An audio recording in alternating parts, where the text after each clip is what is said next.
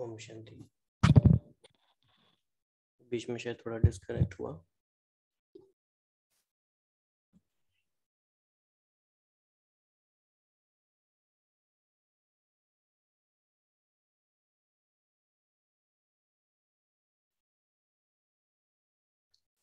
Okay सभी को आवाज़ आ रही है? ऑडिबल यस ओके तो बहुत ही स्पेशल बहुत ही अच्छी मुरली थी। और बहुत सारे हमारे नए भाई बहन आज ज्वाइन किए हैं।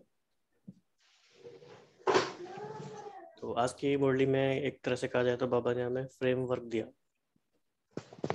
ये कि हमें क्या क्या प्राप्त हुई है। तो सबसे अच्छा पॉइंट आप क्या कहना चाहेंगे?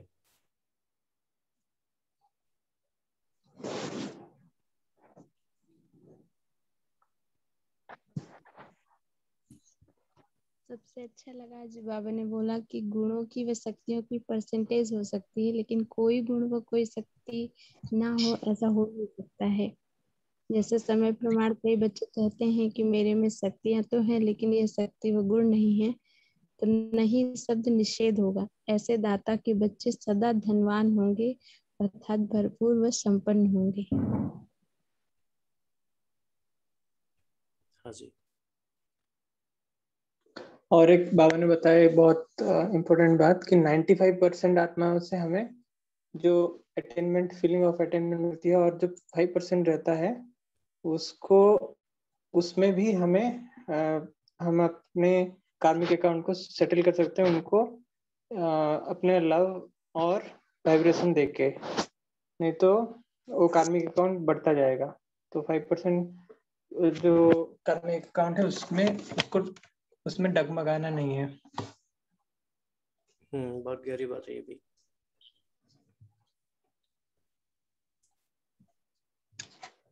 सबसे पहली बात तो हम ये हाँ जी सबसे पहली बात हम ये इंट्रोस्पेक्ट कर सकते हैं कि बाबा ने जो कहा तन मन धन जन का भाग्य तो हमें क्या लगता है कि टोटलिटी में कितना परसेंटेज में वो भाग्यवान हम बने हैं अब तक चारों बातों में? वो परसेंटेज क्या होगी अप्रोक्सीमेटली जो पैरामीटर्स बाबा ने बताए जो क्राइटेरिया बाबा ने बताए कि तन का भाग्य है तो ऐसे ऐसे होगा मन का भाग्य है तो ऐसे ऐसे होगा। बाबा ने पूरा एक सिस्टमेटिक फ्रेमवर्क दे दिया। तो कितना परसेंटेज में हमारा वो है?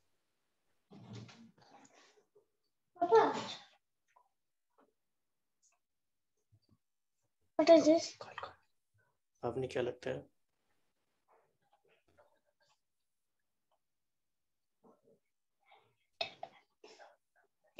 हाँ जी, कोई भी बता सकते हैं, कुछ कह रहे थे?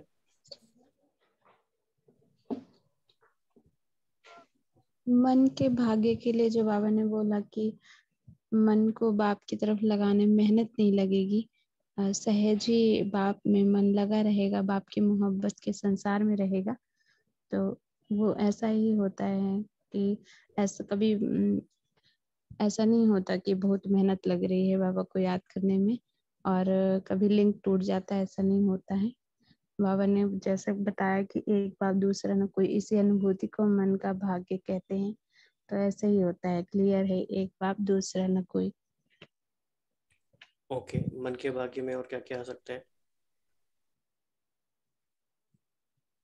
मन के लिए बाबा ने कहा कि भरपूर होता है वह सदा ही मन से मुस्कुराता रहता है। मन के भाग्यवान सदा इच्छा मात्रम अविद्या की स्थिति वाले होते हैं। तो ऐसा तो नहीं है कि बिल्कुल भी किसी चीज़ की इच्छा नहीं होती है। अब पुरुषार्थ की इच्छा होती है अच्छा अच्छा करें, इसकी भी इच्छा हुई होती ही है तो इतना तो नहीं पहुँचे।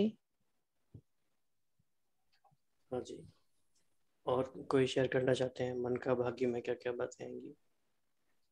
और बाबा ने बताया कि मेहनत मेहनत नहीं, मोहब्बत में, जो मोहब्बत से ड्राइविंग फोर्स होगा, मेहनत नहीं होगा, मन की भाग्य वो है। और दूसरा बात बाबा ने बताया कि मन का लगा- हुआ झुक वाला व्यक्ति जो, या वस्तु की तरफ़ नहीं होगा। तो मनमना, इसी को ही मनमना भाव बाबा ने बताया। अगर और किसी के तरफ़ नहीं होता है, सिर्फ़ बाबा ही रहते हैं उनमें। तो वो मन मना भाव का स्टेज है। मन सदा हर्षित भी रहता है। मन का भाग्य हो तो। ओम जो शांति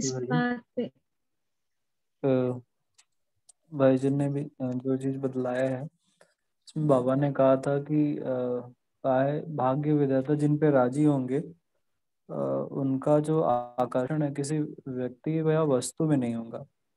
और मैं समझता हूँ ग्रामीण लाइफ में अ, यही दो ऐसी चीज़ें हैं जिनके ऊपर भी ग्रामीण लाइफ में आकर्षण होता है और आकर्षण का मतलब है ज़रूरी नहीं है कि विकार उसके पीछे हो। माना अटैचमेंट हो सकता है कोई और विकार। विकार का मतलब काम वासना नहीं अदर विकार भी हो सकता है। लेकिन यही कारण है डाइवर्जन के तो जिनके ऊपर भाग्य विधाता राज़ी होगा उनकी निशानी बाबा बताएगा उनका किसी व्यक्ति या वस्तु में पार्टिकुलर चीज़ों में आकर्षण नहीं होगा। ये बहुत विशेष पॉइंट है। उनका मन बहुत सशक्त और पावरफुल होगा। परमात्मा और शिव बाबा के प्रति डेडिकेटेड होगा। भाई जी जो ये बाबा ने तन मन धन जन का ये आज वर्णन किया तो मन से जो मुझे चिंतन चला कि अगर एक मन जो भी अ, हम कर्म करते हैं जो भी हम बोलते हैं वो सबसे पहले मन में जो है उसका वो मन में थॉट्स में आती है सबसे पहले वो चीज़। तो, तो अगर हमने थॉट्स को डाइवर्ट कर दिया फोकस कर दिया बाबा की जगह पे तो हमारा तन तो हमारी तन मन धन जो है वो ऑटोमेटिकली उस तरफ़ डाइवर्ट हो सकता है। अगर हम अपने मन को सिर्फ़ मन पे वर्क करें तो ये काम ऑटोमेटिकली तन का लगना धन का लगना मतलब तन का कंसंट्रेशन वहाँ होना, धन का कंसंट्रेशन बाबा की तरफ़ होना तो वो अपने आप हो जाएगा। अगर हम मन पे ही फोकस करें अच्छे से तो। जी। बहुत ही गहरा टॉपिक है सारी मुरली का ये। मन का भाग्य। अगर ज्ञान में हम नहीं होते, दुनिया के हिसाब से देखें तो हम किसको कहते हैं कि ये मन का भाग्य इनके पास है? नॉन बिग केस के लिए।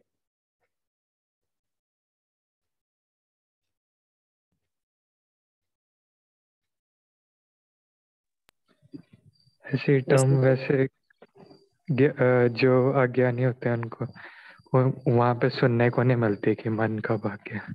बस ये बोलते हैं कि मन खुश है या फिर उदास ऐसा। हाँ तो गणेश भाई ने बहुत अच्छी बात बोली कि ये टर्म ही दुनिया में नहीं है। बुद्धि का भाग्य लोग शायद कह देंगे। मन का भाग्य जैसी कोई बात नहीं आती नॉर्मली किसी कोई बुद्धिशाली है तो कहेंगे इनका बुद्धि का भाग्य है। ठीक है। तो अब बाबा ने सबसे पहले बताया था तन का भाग्य। तन का भाग्य अगर है तो क्या क्या होगा?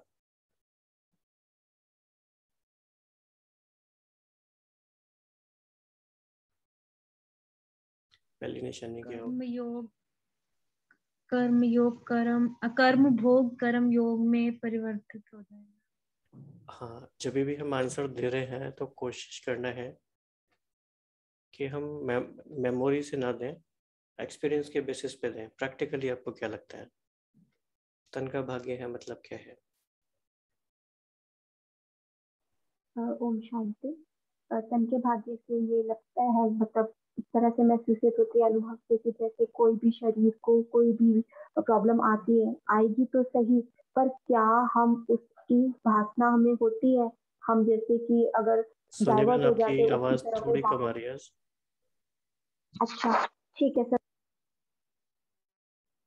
वो ये बस लगा रखा था ये हटा के फिर से? करती हूँ तब तक कोई और हाँ शेयर करे हाँ प्लीज़ जी हाँ जी। हाँ तन का भाग्य मीनवाइल कोई और शेयर करना चाहता तन का भाग्य है तो हम विस्तार को सार में लाएँगे। Okay okay. कैसे? जैसे कि होता नहीं है किस बात का विस्तार और किस बात का सार? जैसे कि अगर कोई परेशानी हुआ तन तन को, कोई बीमारी आई तो जनरली क्या होता है लौकिक में कि वो चिल्लाते हैं मीन्स वो बहुत बोलते हैं, हाय मेरा, ये दुख रहा है, ये मेरा परेशान हो रहा है या फिर दर्द हो रहा है। इसको, ये जो चिल्लाना होता है, जिसको तन का भान ज़्यादा नहीं होता है, उसका तन का भाग्य हो रहता है और वो सोल कॉन्शियस स्टेट्स में रह के उसको वो परेशानी नहीं होगा उसको। तो विस्तार में नहीं जाएगा सार में रहेगा वो। बाबा को बाबा की याद में। ओम शांति। हाँ यही जो भाई जी बोल रहे हैं इसके साथ मैं ऐड करना चाहूँ कि, कि इस तन की जो भी सामने परिस्थिति जो भी आ रही है इसको कर्म भोग बोला जाता है ना? तो इसको मन पर नहीं हावी होने देना। बहुत बड़ा कनेक्शन है तन और मन का। हम अपना एक लाइव एग्ज़ाम्पल आपके सामने रखेंगे। हमारे टेंथ के बोर्ड के एग्ज़ाम थे और उस समय बोर्ड की बहुत वैल्यू और हमारी तबीयत एग्ज़ाम वाले दिन ऐसी खराब हो गई कि शायद हम एग्ज़ाम नहीं दे पाते। पर उस समय आज पता नहीं बच्चे, मैं क्या बोलूँ कि उस समय ऐसी परिस्थिति थी कि बोर्ड के एग्ज़ाम को छोड़ भी नहीं सकते हैं क्योंकि बोर्ड है, ना एप्लीकेशन जाएगी, ना कुछ। तो हम बोर्ड का एग्ज़ाम देने गए, हमारे सामने क्वेश्चन पेपर आया। तो हमारे सामने जब क्वेश्चन पेपर आया तो क्वेश्चन पेपर पूरा चेंज हो चुका था। हम लेंदी लेंदी याद करके गए थे और वो सारे जैसे आज एमसीक्यू है, उस समय शॉर्ट क्वेश्चन आ गए थे। तो लेंदी में से हमें वन वन लाइन का निकालना था। पूरा कंसंट्रेशन इतना चला गया कि पूरे आंसर में से जो हमने इतने बड़े बड़े याद किए, कहाँ से क्वेश्चन हमसे पूछ रहा निकाल के लाए हमें नहीं पता कि हम बीमार हैं, हमें कुछ है। हम थ्री आवर्स का पेपर दे के आए। द मोमेंट हमने पेपर हैंड ओवर किया और हमारे पेट में इतनी तेज से दर्द हमें लगा कि वो पेट में दर्द थी भी पहले तीन घंटा हम रियलाइज़ किया। ये हमें भूलता नहीं है। इसी तरह से अगर हम सेवा में लग जाते हैं, बाबा ने हमें निमित्त बनाया है। अगर ये हमारी स्मृति रहे, हम उजागर रहे तो हमें फिर वो तन का नहीं भासेगा। और हमें ये महसूस होता है कि ये वाले तन की जो हमें लगती है, ये सेवा में रह के ही इसके ऊपर अचीव किया जा सकता है। और तो बाकी कुछ नहीं लगता कि और कोई कारण हो सकता है। बाबा की तरफ़ भी हमारा जो लगन लगती है ना, वो हमारे वन टू वन होती है। मतलब कि हैंड एंड हैंड होती है कि सेवा है दोनों साथ साथ चल रहे हैं। अगर हम सेवा नहीं करते और सिर्फ़ बाबा को याद करने की कोशिश करें, होता नहीं है ऐसा। और जिस दिन सेवा बाबा निमित्त बना देता है, उस दिन बाबा याद रह जाता है, फिर तन का भी नहीं भासता। तो ऐसा हमारा लाइफ हमें हमेशा ये एग्ज़ाम्पल याद रहता है लाइफ में, कभी भी ऐसी तन की बात आ जाती है तो। ओम शांति। बहुत अच्छा एग्ज़ाम्पल था ये। बाबा ने भी जैसे यही कहा कि ऐसा, ये पॉइंट इसीलिए इम्पोर्टेंट है क्योंकि कई बार हमें ये मिसकंसेप्शन हो जाता है कि बाबा का हम बन गए, अब तो कोई बात या तो आएगी नहीं, या आएगी तो बाबा तुरंत ठीक कर देंगे। लेकिन बाबा ने कहा कि वो बीमारी आपकी प्रोग्रेस में ऑब्स्टिकल नहीं बनती है, ये तन का भाग्य है। प्रॉब्लम तो आ सकती है, बीमारी तो आ सकती है। इसलिए बाबा कहते भी हैं कि संगम युग के जो फ्रूट्स हैं मतलब कि दवाइयाँ उन्हें खिला दो और बीमारी को विदा करो फिर।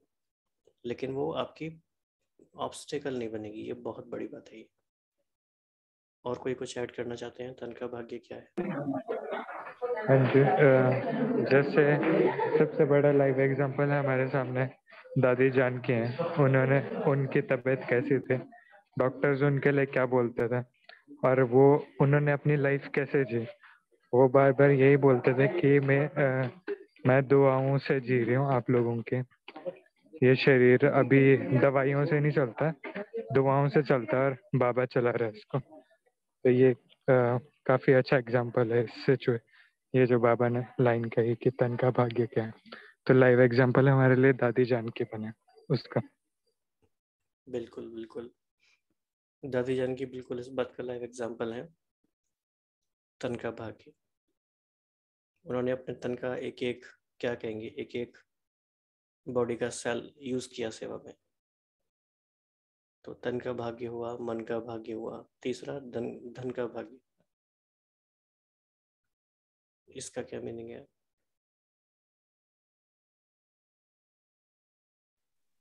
भाई से मुझे एक अन, एक माता उनका अनुभव याद आ रहा है।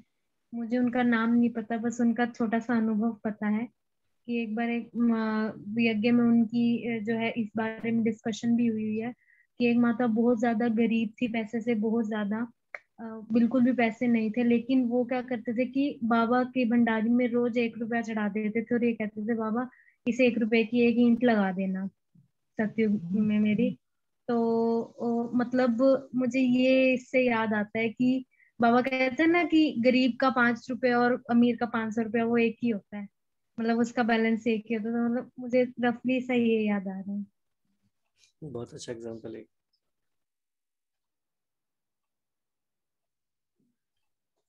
यहाँ पे बाबा ने एक बहुत इम्पोर्टेंट बात बताई है कि हमें देखना है कि हमारा नीड है या ग्रेड है। अगर नीड है तो बाबा ने बताया कि धन का भाग्य बाबा दे रहे हैं और सारे नीड फुलफिल होगा ही होगा उसका एश्योरेंस बाबा दे रहे हैं। ग्रेड फुलफिल नहीं हो सकता है। तो हमें ग्रेड से बचना है। बिल्कुल, ये बहुत इम्पोर्टेंट बात बाबा ने कही कि धन का भाग्य है मींस रिसोर्सफुलनेस आप लाइफ में फील करेंगे। रिसोर्सेज अबंडेंस में होना अलग बात है, पर रिसोर्सफुल फील करना अलग बात है। दे विल ऑलवेज फील के बहुत कुछ ये हम देखते भी हैं। स्थूल रूप में कई आत्माएँ ऐसी होती हैं कि उनके पास काफ़ी कुछ नहीं होगा, लेकिन वो इतने प्रफुल्लित रहते हैं और इतने बड़ा दिल उनका होता है, ऐसा लगता है कि इनके पास सब कुछ है। और कई आत्माएँ ऐसी भी होती है जिनके पास बहुत कुछ होता है, लेकिन वो असंतुष्ट ही होते हैं। उनको लगता है कि और कुछ हो जाए डबल हो जाए ट्रिपल हो जाए। तो धन का भाग्य है मतलब बाबा ने कहा कि कोई बेसिक नीड आपकी रुकेगी नहीं, वो पूरी होगी।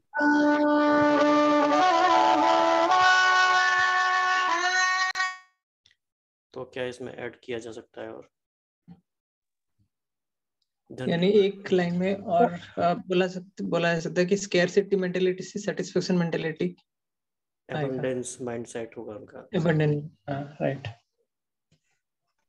इसमें बाबा ने एक बहुत सुंदर लाइन बोली कि जहाँ पे अगर सेवा करते समय आपको मान सम्मान की आशा है तो बाबा वहाँ सहयोग नहीं देगा।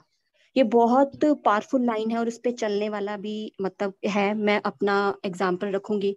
मैं आशा करती हूँ कि आप सभी जो भी जुड़े हुए हैं, इस लोग, इस बात को एक ऐसे लेंगे कि इसमें मान सम्मान नहीं है। मुझे कोई ऐसी आश नहीं है। और मैं पहली बार इस ग्रुप के सामने शेयर कर रही हूँ। शायद बाबा मुझे इस चीज़ के लिए मोटिवेशन कर रहा है। लास्ट टाइम 18 जनवरी को बाबा ने जब मुझे खुद अपने पास स्मृति दिवस पे आमंत्रित किया तो मैं वहाँ थी। और उस समय मैंने सचिन भाई जी की भट्टी को पंद्रह से बीस दिन सुना था। और उसमें बहुत सुंदर बात थी कि वो स्थूल हमारी जो यात्रा होती है वो ये सिखा रहे थे कि सूक्ष्म से आ, भाई जी टाइम है ना अदरवाइज़ मैं नेक्स्ट टाइम शेयर कर लूँगी। यू में कंटिन्यू प्लीज़ तो जी। तो सचिन भाई जी की भट्टी को हमने अटेंड किया था जाने से पहले तो उसमें जो यात्रा थी, उसका नाम ही था कि हम हमेशा यू नो स्थूल से सूक्ष्म की तरफ़ जाते हैं। अभी हम सूक्ष्म से स्थूल की तरफ़ जाएँगे, क्योंकि स्थूल नहीं करेंगे तो सूक्ष्म की प्राप्ति नहीं होगी। तो उसमें आवाज़ पर था कि आवाज़ से हमें परे कैसे जाना है है ना? तो हम वो प्रैक्टिस किया करते थे। हम चिड़ियों के पास जाके सुनना, एकाग्रता की प्रैक्टिस करना। तो ये सब प्रैक्टिस करते करते बहुत स्थिति अच्छी हो गई और बाबा ने अचानक से बुलाया भी। अब वहाँ हम गए तो हम बैठे थे और सुबह सुबह का टाइम और हम प्रैक्टिस कर रहे। बहुत अमृत वेला के बाद, पाँच बजे के बाद हम आकर बैठे। बहुत सुंदर हमारा योग की स्थिति। और हम बैठे और इतने में बर्तनों की बहुत तेज से आवाज़ आने लग गई भंडारे से। बहुत तेज आवाज़ पाँच बजे। और हमारी स्थिति खराब होने लगी मतलब डामाडोल लेने लगी। एकदम से हमें याद आई कि इतनी सी आवाज़ से आप हिल जाएँगी। जैसे बाबा हमें कह रहा हो कि आप इतनी सी आवाज़ से हिल जाएँगी। हाँ अभी तो विनाश के समय पे तब कौन आएगा तुम्हें? तब शांति मिलेगी क्या? लिटरली हमारे आवाज़ में, कानों में आवाज़ गूंजी और बाबा ने बोला, खड़ी हो जाओ यहाँ से। हम खड़े हो गए। बाबा कहते, जाओ वहाँ पे जहाँ पे आवाज़ है। हम वहाँ चले गए और हम बैठ गए। तो हमें देखा दो ही सेवाधारी थे जो इतने सारे बर्तनों को कर रहे थे और वो लिटरली जो भी ट्रॉली थी, उसको जूठे बर्तनों को पलट देते थे, क्योंकि रात को सेवा नहीं हुई होगी बर्तनों की। इतनी तेज आवाज़, सबसे पहले तो हमने खुद को उस आवाज़ में शांत किया बाबा की इस बात से कि जब विनाश होगा, इससे कितनी तेज आवाज़ होगी? तो हम क्या इससे तेज आवाज़ सुन सकते हैं? हमारा इतना सुंदर योग लग गया, फिर हमने अपनी आँखों को खोला देखा कि वहाँ दो सेवाधारी थे बस। दो सेवाधारी को देख के हमने बोला, फिर हमें याद आई कि कोई तो कारण है ना, पहले तो ऐसी आवाज़ नहीं होती थी तो कोई तो कारण है, कोविड का समय था। तो दिक्कत तो होती ही है ना फंड्स के साथ। तो हमने ऐसे अंदर से आई, आवाज़ में तो स्थित हो गई, अब तुम आगे क्या कर सकती हो? ऐसे ही हम पता नहीं, बाबा ने संकल्प दे दिया। और हम ना उस समय ना काम में हमारा मन नहीं लग रहा था। हम जॉब छोड़ी है हमने दस साल हो गए। हम कोचिंग में भी ना हमारा मन नहीं लगता, हम कोचिंग ले रहे थे। तो बाबा को बोला, बाबा हम मन से काम करेंगे और ये हमारा परिवार है। हमें पता है कि अभी ज़रूरत है, हम आपके लिए कुछ नहीं कर सकते। पर एक बेटी भी जब घर छोड़ के जाती है अपने बाप का तो जब कहीं ज़रूरत होती है तो ये सोच सोचती है कि मैं बेटी हूँ। ऐसे वाले भाव हमारे अंदर आ रहे हैं लौकिक से अलौकिकता आ गई हमारे अंदर। और हम दिल्ली वापस आए हमने अच्छे से काम फिर से किया और फिर हमने जो भी हमारे मन में जो भी हमसे हो सकता है आज हमने कोचिंग फिर से छोड़ दिया क्योंकि कुछ कारण ऐसे हुए हम नहीं कर पा रहे। पर बाबा ने हमें कमी नहीं दी। आज हम वो जो पढ़ रहे थे ना हमें वो सारा का सारा एग्ज़ाम्पल ऐसे आ गया कि बाबा सच में मान सम्मान कुछ नहीं चाहिए। हम बाबा के लिए क्या कर सकते हैं? पैसे से तो हम कुछ भी नहीं कर सकते, हम उस लायक है नहीं। पर हमारे भाव कैसे हैं कि ये यज्ञ हमारा है, ये ईश्वरीय परिवार हमारा है तो आज हमारे पास नहीं है इनकम इतनी। हम लेते भी नहीं अपने युगल से, क्योंकि हम कहते हैं, हम ये सोच के चलते हैं, हमारी अर्निंग होगी तो हम देंगे, जाने कैसा कैसा मतलब कैसा भी हो, हम नहीं कुछ कहते, हम भाव भी नहीं लाते, पर हम उनसे लेकर यज्ञ के लिए नहीं देते। पर जाने कहाँ से आए जा रहा है और दिए जा रहा है बाबा, दिए जा रहा है, ऐसा भाव। आशा करती हूँ का इसमें ऐसा नहीं आएगा। नहीं आएगा, क्योंकि हम जब रखते ही नहीं है तो आएगा कैसे आप लोगों को? थैंक यू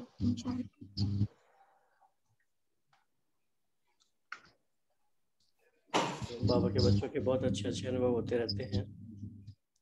तो काफ़ी सारे भाग्य उसमें समा जाते हैं। तो हमारा तन का हुआ, मन का हुआ, धन के बारे में कोई और कुछ कहना चाहिए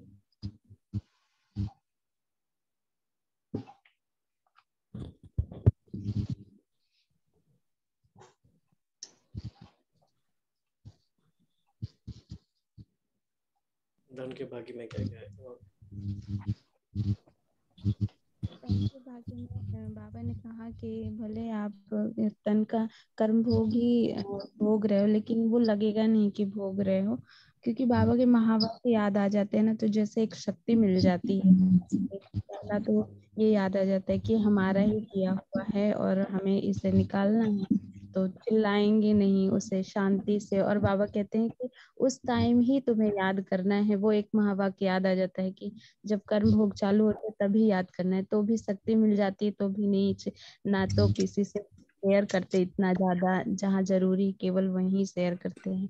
और दूसरा जानकी दादी का याद आ जाता है कि जब वो बीमार थी तो बाबा ने उन्हें कहा था कि तुम सेवा करो। मतलब वो हॉस्पिटल में जाके नर्स की नर्स की तरह सेवा करती थी।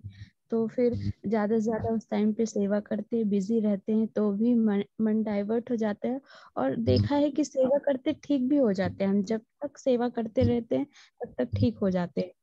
तो ये एक्सपीरियंस है तन के भाग्य का कि अब वो चीज़ इतना हावी नहीं हो जाती है कोई भी तन की बीमारी या फिर तन की कोई भी व्याधि। हाँ जी। जन का भाग्य।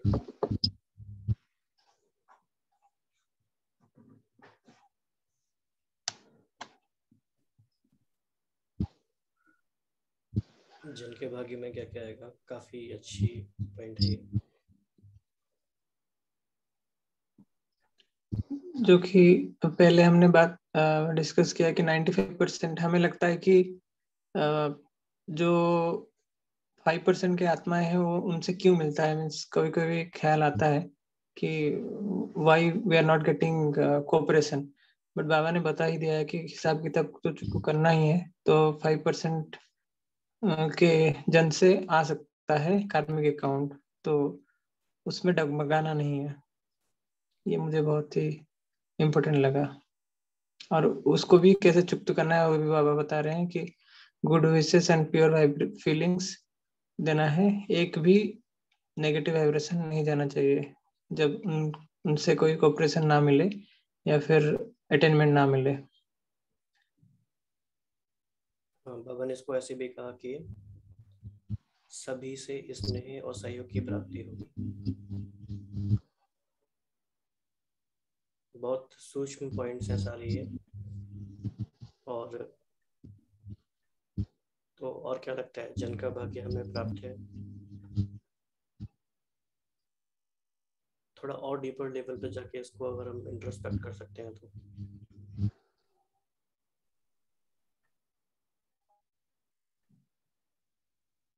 या फिर इस बात को हम ऐसे भी कह सकते हैं, ब्राह्मणों के मन में जब भी कोई शुभ संकल्प आता है, सेवा का या कोई भी तो तन, मन, धन, जन चारों ही भाग्य मिलके उस बात को मैनिफेस्ट होने में हेल्प करते हैं।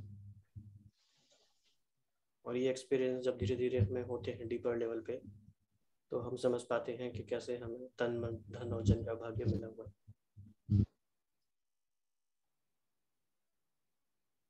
तो आप कनेक्ट कर पा रहे हैं कुछ अपने किसी एक्सपीरियंस के साथ?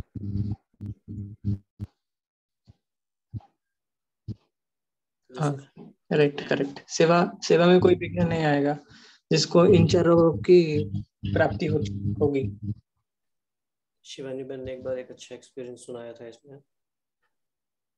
शिवानी बहन ने कहा था कि पता नहीं कैसे लेकिन वो कह रहे थे कि कुछ समय से ऐसा होने लगा है कि किसी भी, ये कोविड से पहले की बात है, कि कहीं भी जाना होता है, किसी भी प्रोग्राम में, कितना भी डिले हो जाने में, कितने भी देर हम हो जाएँ, लेकिन वो सारी सिचुएशंस ऐसे बन जाती हैं कि टाइम पे वहाँ पहुँच जाते हैं।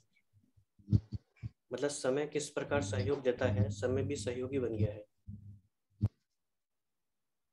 तो अगर बाबा इसमें किसी मॉडल में एडिशन करेंगे तो कभी बाबा ये भी कह सकते हैं कि समय का भी भाग्य है। समय भी आपको सहयोग देता है। तो इसी के साथ हमें भाई जी एक हाँ इसी के साथ हमें भी शिवानी दीदी का एक एक्सपीरियंस याद आ रहा है हमने सुना था। उन्होंने बोला था कि एक बार उनको यू नो बहुत तेज खांसी हो गई बहुत तेज खांसी और उनके एक के बाद एक प्रोग्राम्स थे। तो उनको एक बार मन में आने लगा कि ये कैसे होगा।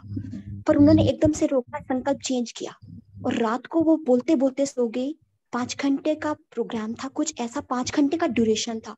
तो उन्होंने ऐसा बोलते बोलते सो गई कि पाँच घंटा कुछ नहीं होगा। पाँच घंटा उनको कुछ नहीं हुआ, वो विजुअलाइजेशन करते करते सो गई। और उन्होंने बताया एक्सपीरियंस कि लिटरली जितनी टाइम का उनका था वो ड्यूरेशन फाइव आवर्स का।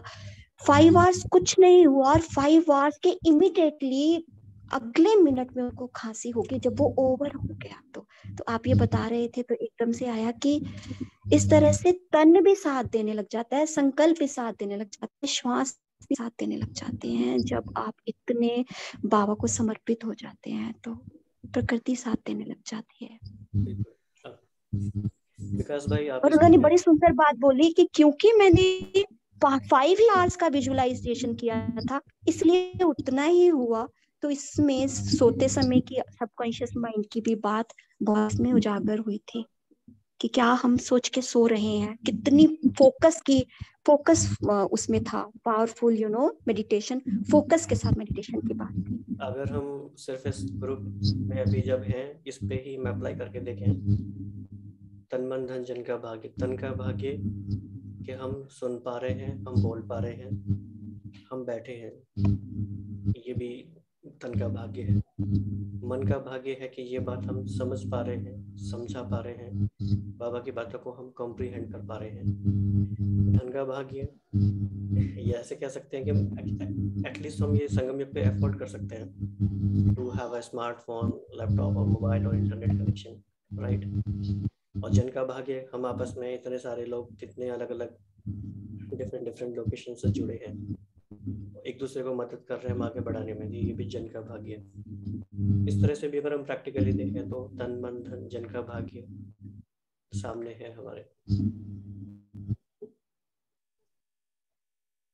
तो लास्ट में कोई भाई जी एक और सुंदर अनुभूति थी कि फोकस का भी तो पार्ट है ना कि हमें कैसी भी परिस्थिति है कुछ भी है हमें चले थोड़ा सा टाइम अप भी हो गया दो मिनट ऊपर भी हो गए है ना? ऐसे लगता है नहीं ज्वाइन कर लेते हैं नहीं बोल पाएँगे तो सुन ही लेंगे ना।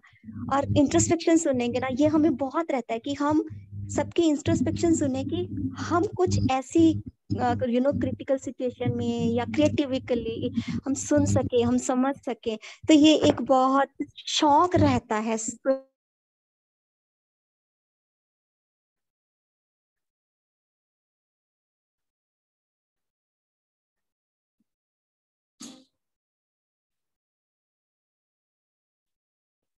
हाँ जी।